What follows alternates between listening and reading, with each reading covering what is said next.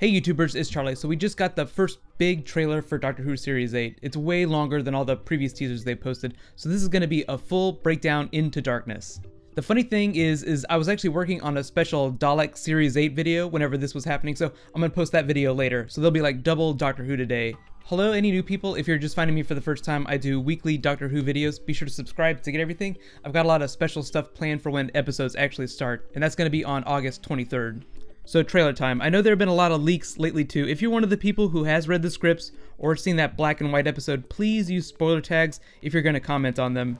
I haven't seen the leaks and I haven't read those scripts, so all the rumors that I'm going to be talking about during this trailer are just rumors. I don't consider them spoilery. So this is just going to be a shot-for-shot -shot breakdown of the stuff we see in the trailer, as well as the voiceover. So we start off with a shot of the TARDIS controls in that explosion that we see in all the previous trailers, moving through a montage of a new shot of a corridor that we've never seen before. It could be the inside of the TARDIS, but I've never seen any passageways in the TARDIS that look like this. There are rumors that Clara and the Doctor will be traveling inside a Dalek in Series 8, so this could be from inside a Dalek. That theory is kind of supported by the appearance of Clara looking like she's in a waking dream that moves through a close-up of a Dalek eye stalk. It also kind of reminds me of Dalek Oswin from the Series 7 opener. I just love the sound effects and the way the images pulse too, especially the Dalek. It just makes it sound like a heartbeat. This Clara is the Clara from the Christmas special though. She's got a new haircut in the Series 8 promo pics, so we're not looking at a different version of her. It's the same Clara.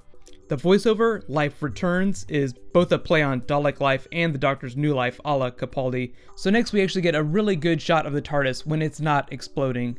It looks exactly like Matt Smith's new TARDIS from the 2012 Christmas special, The Snowman, so this kind of confirms that Peter Capaldi will for all intents and purposes have the same TARDIS.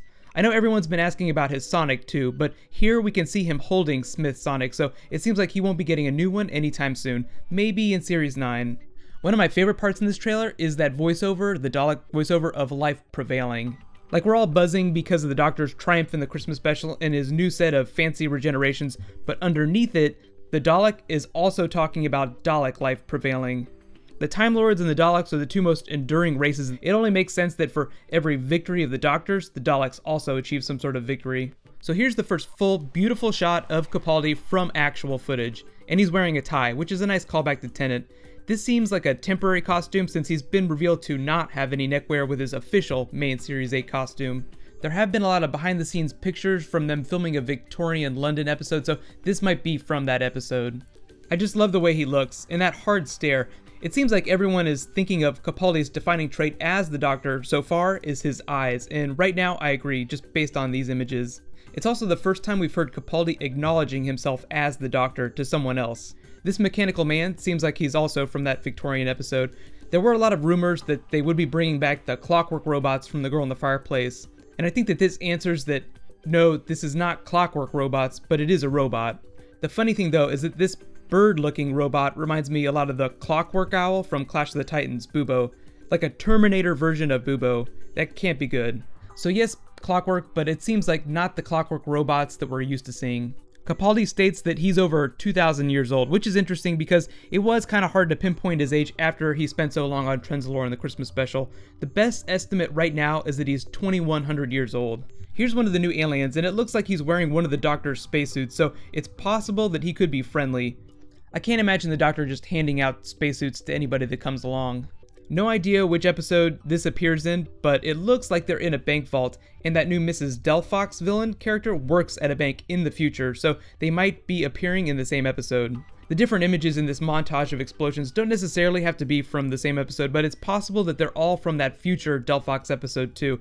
The bank story is rumored to be a heist that takes place in the far future, and those containers look fairly futuristic, so this could all be from that episode. Here's a nighttime shot of Victorian London, that rumored first episode. Then the doctor is talking to Clara about fixing his mistakes. He looks like he's wearing his new costume, even though you can't see the red lining, which is very reminiscent of the third Doctor's cape, for any classic Who fans. Clara is also wearing a new leather jacket, so presumably this scene is after things have kind of calmed down, like after the TARDIS stopped crashing at the end of the Christmas special. He says they're going into darkness, and that could mean a couple of things. It could literally mean the void between universes or something like the Medusa Cascade, something outside of normal space. The Doctor has claimed that everything that lived in the void, like the Daleks and the Cybermen, are dead. That was during Doomsday, but during Journey's End, we learned that a bunch of people were living in the Medusa Cascade, so they could be playing around with that. It could also be from that rumored Dalek story, them going inside the darkness of a Dalek, like inside a Dalek, magic school bus from hell style. Then we see Madame Vastra pretty much confirming Paternoster Victorian episode. Clara's falling down a shaft. This could be anywhere TARDIS, Dalek, or somewhere in the future, like some sort of building. Here's my favorite trailer shot T Rex in London. Fairly self explanatory. If you look at the background smokestack and some of these hats, it suggests that this is also from that Victorian London episode. Cannot wait for an explanation of why there is a T Rex in London. I know a lot of people weren't big fans of dinosaurs on a spaceship, but I totally love that story.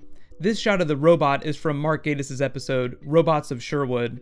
Tom Riley plays Robin Hood. I can't wait to see it. It's like a full-on Ren Fair episode of Doctor Who. So if you're a Ren Fair fan, you're gonna love this episode. Here's Capaldi on horseback, also in Victorian London.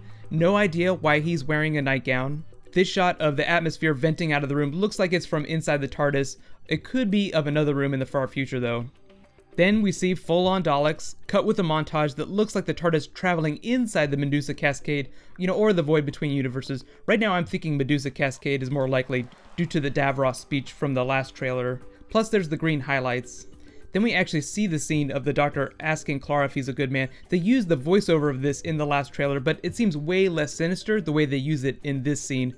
So he's probably just asking her genuinely because he's still trying to make sense of his mind after the regeneration. When she says she doesn't know, I'm wondering if that's because of the new personality and she knows the doctor has changed and isn't quite sure who he is, or if she's realizing that she never really knew the doctor, at least as well as she thought she did. And that's pretty much it. I'm thinking based on the footage they used, all these trailer scenes are from the first couple of episodes. Again, if you've read those leaked scripts, please use spoiler tags if you're going to comment. But because the Doctor talked about correcting a lot of his mistakes, I'm really wondering if Series 8 is going to deal with a lot of familiar places, you know, even if a lot of the characters change. So in related news, I had that Dalek video that I was finishing as this trailer came, so I'm just going to finish that up and post it in a couple hours. Be sure to subscribe to get that. We're really almost a couple weeks away from the premiere, so if you bought a ticket to the Doctor Who World Tour, please post pictures because it is going to be awesome. Feel free to post them on my Facebook page. There's a link to that in the description. For anyone that does not have a ticket, don't worry, I am expecting another trailer before the premiere, so we will get some new footage. Right now, click here to get that Dalek video. I'll add the annotation as soon as I post it a little bit. And click here to learn all about Sherlock Series 4. They just dumped a whole bunch of information, so it's really exciting. Thank you so much for watching. I'll see you guys in a little bit. High fives.